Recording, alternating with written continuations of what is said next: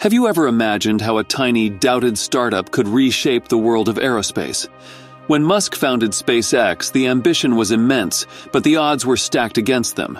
With its Falcon series, SpaceX introduced a revolutionary concept of reusability to space travel, drastically reducing the costs and making space more accessible. And today, they're pushing the envelope even further with the impressive Raptor 3 an engine that's three times as powerful as its predecessors, and is at the heart of their most ambitious project yet the Starship.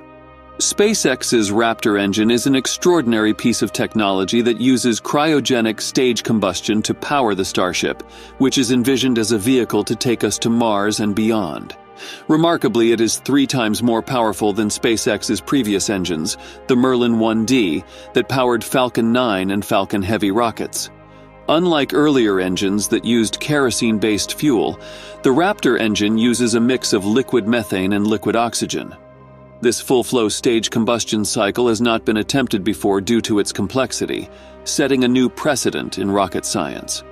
The Raptor also employs principles showcased in the Falcon 9 and Falcon Heavy rockets, such as deep cryogenics, by cooling the fuel below its boiling point, it becomes denser, allowing more fuel to be stored within the restricted tank volume. At this point, one might ask, why is SpaceX investing vast resources in producing these unique engines when they could buy ready made engines like many other space companies do? The answer lies in SpaceX's overarching mission and vision.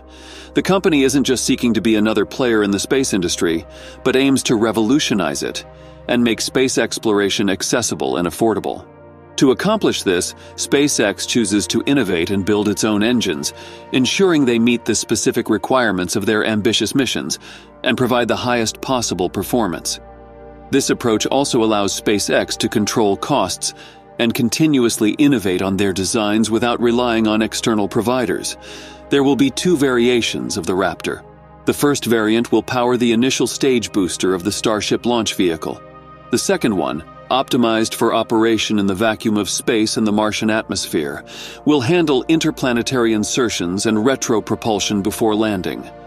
Musk first unveiled the design of the Raptor engine in 2016 during the International Aeronautical Congress. He also introduced SpaceX's Mars transport architecture. The Raptor was a breakthrough, a cleaner burning engine that was unfortunately also complex and challenging to produce. Its thrust capacity maxed out at 185 tons, making it less suitable for ambitious missions to Mars. To meet Musk's requirement for a Mars bound Starship, SpaceX developed the Raptor 2. It incorporated several performance and reliability upgrades, but to keep costs low, SpaceX introduced the Raptor 3 the objective was to produce the Raptor for under $250,000, making space exploration more affordable. The Raptor 3 engine was put through rigorous tests and proved itself beyond all expectations. The test footage revealed an awe inspiring spectacle as the Raptor 3 demonstrated its power. Musk revealed on Twitter that the Raptor 3 generated an incredible thrust force of approximately 269 tons and operated at a chamber pressure of 350 bars, an astonishing figure that outperforms many well known rocket engines. The Raptor 3's impressive performance indicates SpaceX's commitment to innovating and pushing the boundaries of rocket technology. The chamber pressure of an engine plays a crucial role in creating powerful thrusts.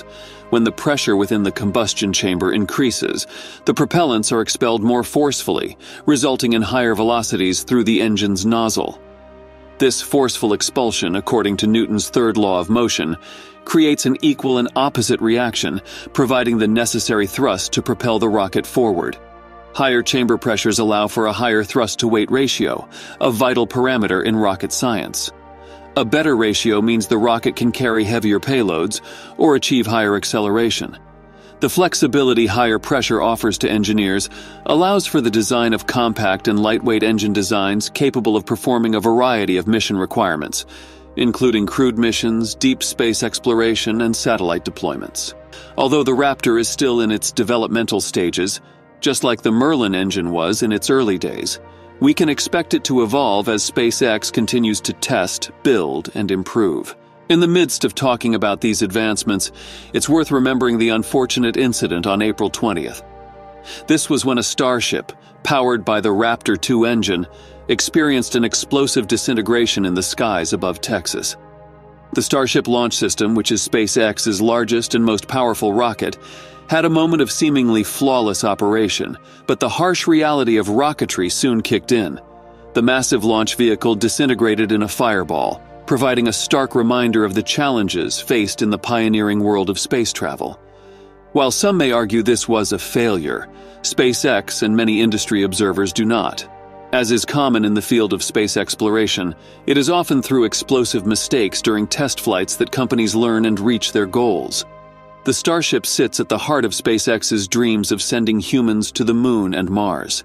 It's designed to ferry countless tourists and thousands of the company's Starlink internet satellites into orbit, so every test is a high stakes endeavor.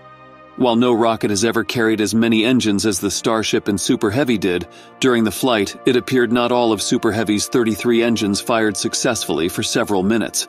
Ultimately, something went awry at stage separation, resulting in an unexpected and unwanted fireworks display. Don't get me wrong, I'm not saying the Raptor 2 engines are bad, it's just that rocket science is hard and things sometimes go wrong. We hope that with the advancements in the Raptor 3 engines, such mishaps will be less likely in the future. While SpaceX is continuously breaking barriers and setting new standards, its competitor, Blue Origin, has recently faced a significant setback. During a test firing on June 30th, a B 4 engine exploded about 10 seconds into the test. This disastrous event destroyed the engine and inflicted severe damage on the test stand infrastructure. This incident is a stark reminder of the risks and uncertainties in the development of rocket engines. That's all for today, folks. If you've enjoyed our exploration of SpaceX and its game changing Raptor 3 engine, don't forget to hit the like button and subscribe. Thanks for watching and see you in the next video.